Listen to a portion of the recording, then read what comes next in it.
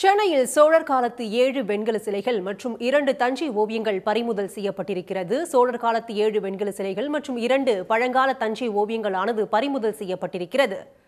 சோழர் காலத்து ஏழு வெண்கல சிலைகள் மற்றும் இரண்டு பழங்கால தஞ்சை ஓவியங்கள் சென்னை ராஜா அண்ணாமலைபுரத்தை சேர்ந்த வெளிநாடு வாழ் இந்தியருக்கு சொந்தமான வீட்டில் இருந்து இந்த சிலைகளானது பறிமுதல் செய்யப்பட்டிருக்கிறது.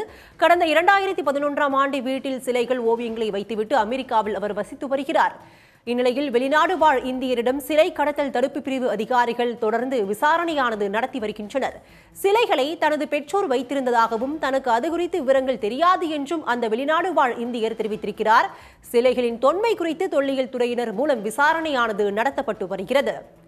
சிலைகள் எந்த கோவிலுக்கு சொந்தமானவை என்றும் சிலை கடத்தல் தடுப்பு பிரிவு அந்த நபரிடம் விசாரணையானது தொடங்கி நடைபெற்று வருகிறது. அமெரிக்காவில் வசித்து வரும் வெளிநாடு வாழ் இந்தியரை அழைத்து விசாரிக்க சிலை கடத்தல் தடுப்பு பிரிவு தற்பொழுது திட்டம் தீட்டியிருக்கிறது. சோழர் காலத்து ஏழு வெண்கல சிலைகள் மற்றும் இரண்டு பழங்கால தஞ்சை ஓவியங்கள் சென்னையில் பறிமுதல் செய்யப்பட்டிருக்கிறது. இது பற்றி விரிவான தகவலை தர காத்திருக்கிறார் செய்தியாளர் கிருஷ்ணா. கிருஷ்ணா விவரங்கள் என்ன?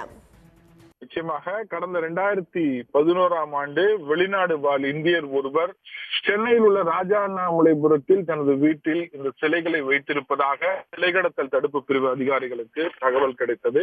இதனை அடிப்படையாக வைத்து அந்த இடத்தில் ஆஹ், சோ- சிலை கடத்தல் தடுப்பு பிரிவு அதிகாரிகள் சோதனை மேற்கொண்டதில் ஏழு சிலைகள் மற்றும் இரண்டு தஞ்சை ஓவியங்கள் அங்கிருந்து பறிமுதல் செய்யப்பட்டன. இது குறித்து அங்கிருக்கும் நபர்களிடம் கேட்கும் பொழுது தனது பெற்றோர்கள் இதை வைத்திருந்ததாகவும் இதற்குண்டான உரிய ஆவணங்களை தாங்கள் சமர்ப்பிப்பதாகவும் சிலை கடத்தல் தடுப்பு பிரிவு அதிகாரிடம் தெரிவித்தார்கள்.